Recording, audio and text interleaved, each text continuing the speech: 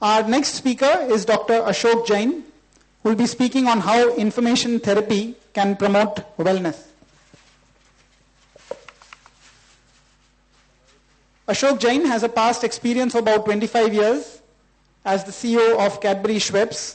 Currently, he is part of the team of Oxygen Healthcare Communications, which is India's largest integrated healthcare advertising and marketing company. Short, thank you. Good afternoon. Uh, I'm not a doctor. Uh, they got it wrong somewhere there. Uh, and that really helped me a lot in doing in things in healthcare. Uh, because one stayed hungry and one stayed foolish in doing all this. Uh, we are India's largest integrated healthcare marketing company. We work with all three constituents. We work with the pharmaceutical companies, we work with doctors, and we work with patients. 50% of our business actually comes from what Dr. Malpani introduced me to is information therapy. We were doing it, we didn't know what the name was. So, what I'm going to talk to you is why providing information therapy is great business sense. Right, uh, we all know, and uh, one of the things which is different is just providing health information is not information therapy. Information therapy, in my view, is timing, relevance, and evidence based difference. It had to be at the relevant time, it, had to be, it has to be relevant, and it has to be evidence back for me to understand. What's the need? We've all seen, we've seen a great example from Dr. Vandana Gupta, the anxiety, the medical jargon, the complexity, and the protected turf by the doctors make it all more relevant that information therapy is a need. Okay? IT should re- uh, reduce consumer anxiety. There was somebody from a medical cell here. They'll actually tell you information therapy can actually reduce medical legal cases in this country and the world. And it does. There are a lot of evidence that it actually does. It can also increase compliance. IT, and I keep calling it IT because I would want to bring a parallel to real IT there, could lead to better outcomes, more loyal patient, and less medical legal complications. And IT, like what other IT does, it can increase the quality of life and also increase decision making. Okay, it's perhaps more potent than a placebo. Most of you who are doctors here know what the value of placebo is. And perhaps information therapy could be more potent than actually a placebo. Okay? It's a huge business opportunity, and I'll just show you as we go along of what a huge business opportunity it is. We need to remember healthcare as a percentage of GDP in India is very small.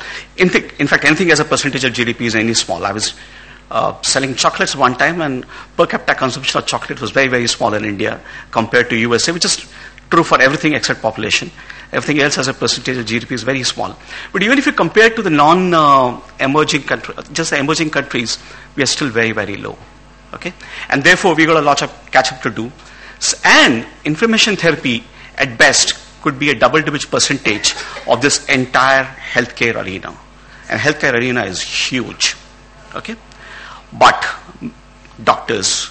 Uh, I just need to qualify, uh, though I'm not a doctor, and my company deals with close to 100,000 doctors, 1 lakh doctors, directly or indirectly, across more than 200 cities in this country. Okay? So we understand. In fact, we actually have what we call a medical map of doctors, a, a mental map of how doctors think, which really you'll find that a lot of pharmaceutical companies also don't have. And we produce that for ourselves so that we could do business. So we deal with about 100,000 doctors. And one of the interesting things which I always look at is apart from their noble uh, cause, apart from what they contribute to society, one of the things doctors need to look at themselves as medical entrepreneurs. They are, at the end of it, medical entrepreneurs. When the doctors talk to each other, they actually say, Dukan ban kar diya kya? You know, kya kya? Okay? I've been to Privy talking to a lot of doctors along with doctors. And when they hear the language, they all understand somewhere that they are ultimately entrepreneurs. They don't have a provident fund to go back to. They have to run their shop like entrepreneurs. But beyond what they do, if they see healthcare as a large arena and then think themselves as entrepreneurs in that area, they could really, really see that the opportunity is very huge. But, uh, like if you see examples in the world, Nokia never see uh, iPhone coming, Google never saw Facebook, and so on and so forth. So doctors never see the opportunity in information therapy. And non-medical, non-doctors like me see it. Yeah. So therefore, medical entrepreneurs or doctors need to slumber out of their waiting rooms and out of the clinic rooms and go into the waiting rooms. And why do I say that? My company has put in two and a half thousand televisions outside doctors' waiting rooms. We reach, reach out to about two million people in this country, giving them information therapy before and after a doctor. Okay? And doctors love this service of ours. We're expanding very, very rapidly in that area. And where is the opportunity? Right outside their nose in the waiting room. Okay? That's the opportunity. Uh, need to think beyond their operation theaters. We run helplines outside operation theaters. What do relatives need outside operation theaters? Somebody to relieve their anxiety. So for a large pharma company, we actually run a helpline outside there. Okay. Need to realize that prescriptions are not enough, actually are much more beyond prescriptions. Uh, our company over the last 10 years must have produced hundreds of thousands of patient education materials, which we have helped doctors to give out to their patients. Okay? They need to see beyond the marketing myopia to say, my job only to look at a patient, listen or not listen to them, and write something. The world is much, much beyond that. The patient is asking for much beyond that. The whole society is asking for more that.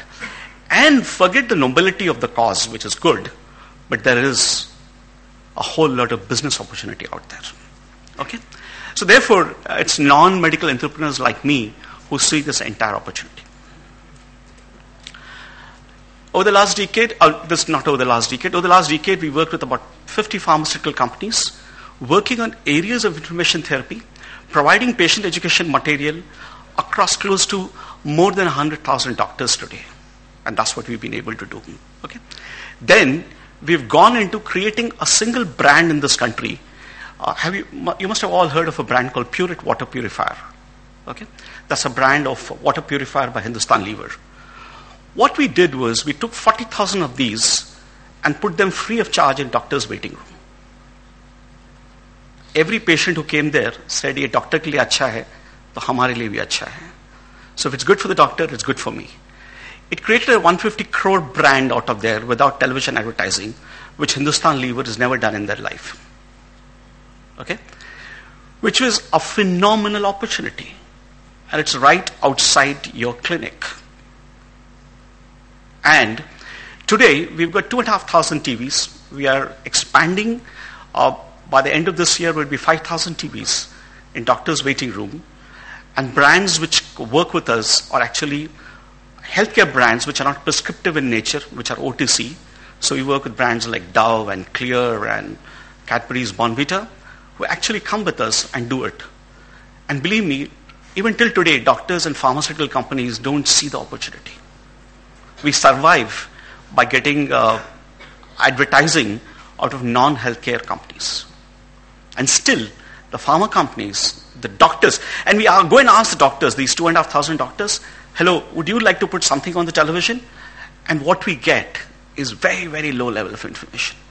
The opportunity is so huge for them to do that, but they don't still utilize it. So the whole point which I'm trying to drive is in the entire area of healthcare, we've got a, we got a site, India's largest healthcare site called Good Health in You, which provides uh, patients information, like the information we're talking about. We've got five full-time doctors working on it, chatting with patients, answering on emails to patient and providing information to patient. And what is service? We get about close to 2,000 people every day on our site. Yeah? So that's the kind of things which are there. Uh, we also publish books for doctors to actually make them realize that they are beyond doctors, they are medical entrepreneurs. Some of the books we publish is time management for doctors. If you read any book on time management, you will find that uh, there is no book written for uh, doctors. Most time-bound books will say please delegate. Whom will a doctor delegate to? Right? So we actually written a book on time management doctors, presentation skills for doctors, communication skills for doctors, persuasion skills for doctors, We're writing a book called Doctors as Entrepreneurs. So therefore, we're opening a whole new area. And what happens? Pharma companies buy these books and give it to doctors. So we, we've done about a close to 100,000 books on that. So we're growing with information therapy. We're growing in areas where doctors and other uh, medical people are not looking at. And therefore, when Dr. Malpani told me to come and address this thing, I said, okay, I'll do that. It's very simple. There's a huge opportunity out there. Please have a look at it. Thank you.